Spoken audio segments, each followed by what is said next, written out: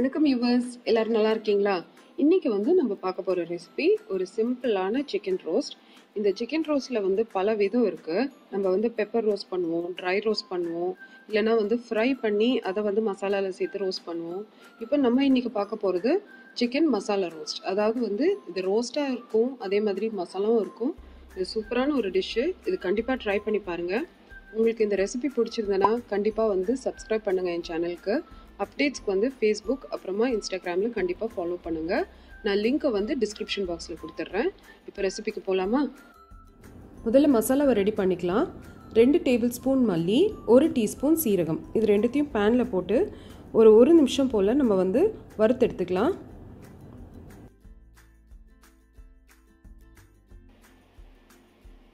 அடுத்ததாக ஒரு டீஸ்பூன் சோம்பு ஒரு டீஸ்பூன் மிளகு பதினஞ்சு ஏலக்காய். இதையும் சேர்த்து நல்லா வ வறுத்துக்கோங்க.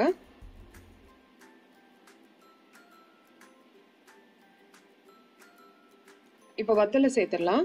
நான் வந்து காஷ்மீரி எடுத்திருக்கேன். நீங்கள் நம்ம ஊர் மிளகாய் கூட எடுத்துக்கோங்க. உங்களோட காரத்துக்கு ஏற்ற மாதிரி அதை சேர்த்துக்கோங்க. இப்போ இந்த மசாலா நல்லா வறுபட்டுடுச்சு. இப்போ இதை வந்து ஒரு மிக்சி ஜாருக்கு மாற்றிட்டு கொஞ்சமாக தண்ணி சேர்த்து இதை வந்து நல்லா மை மாதிரி அரைச்செடுக்கணும்.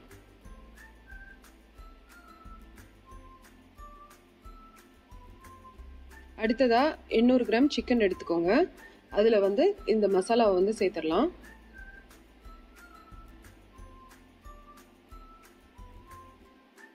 கூடவே ஒரு டீஸ்பூன் இஞ்சி பூண்டு விழுது. மஞ்சள் தூள். ரெண்டு டேபிள் ஸ்பூன் தயிர். தயிர் வந்து சேர்க்கணுன்ற அவசியம் கிடையாது. கிரேவிக்கு வந்து திக்னஸ் கிடைக்கிறதுக்கு வேண்டி தான் தயிர் சேர்க்கறது. அப்படி உங்களுக்கு வேண்டாம்னா தயிர் சேர்க்க வேண்டாம். இப்போ இந்த மசாலாவை வந்து நல்லா மிக்ஸ் பண்ணிக்கோங்க. மிக்ஸ் பண்ணதுக்கப்புறமா இது வந்து கண்டிப்பாக ஒரு ஒரு மணி நேரமாவது நம்ம ஊற வைக்கணும். அப்படி உங்களால் முடியும்னா இதை முந்தின நாள் ராத்திரியே வந்து மிக்ஸ் பண்ணி ஃப்ரிட்ஜில் வந்து ஒரு மூடி போட்டு வச்சுருங்க.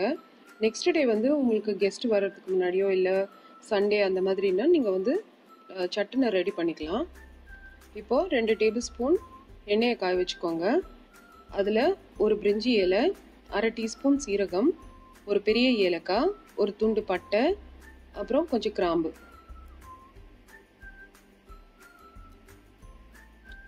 மசாலா நல்லா வதங்கினதும் ஒரு பெரிய தக்காளியை அடிச்சுட்டு இதில் சேர்த்துக்கோங்க. தக்காளி வந்து நல்லா வெந்ததும் நம்ம வந்து ஊற போட்டு வச்சுருந்த சிக்கனை வந்து சேர்த்துடலாம்.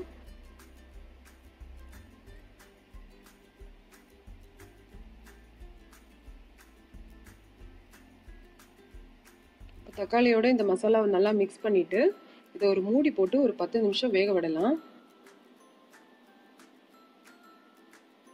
இப்போ பார்த்தீங்கன்னா இதில் நல்ல கொதியும் வந்துடுச்சு சிக்கன்லேருந்து தண்ணி இறங்க தொடங்கிடுச்சு.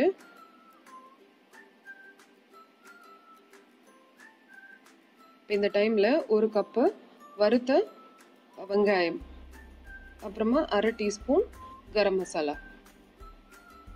கரம் மசாலா வந்து சேர்க்குறதுனால மசாலாவோட வாசனை கொஞ்சம் கூட தூக்கலாக இருக்கும். தேவையான அளவுக்கு உப்பு. இப்போ நம்ம சேர்க்க வேண்டியதெல்லாம் சேர்த்துட்டோம். இப்போ இதை நல்லா மிக்ஸ் பண்ணிவிட்டு இதை மூடி போட்டு இது ஒரு பதினஞ்சு நிமிஷமாவது வேக விடணும். மிதமான சூட்டில் வச்சுக்கோங்க.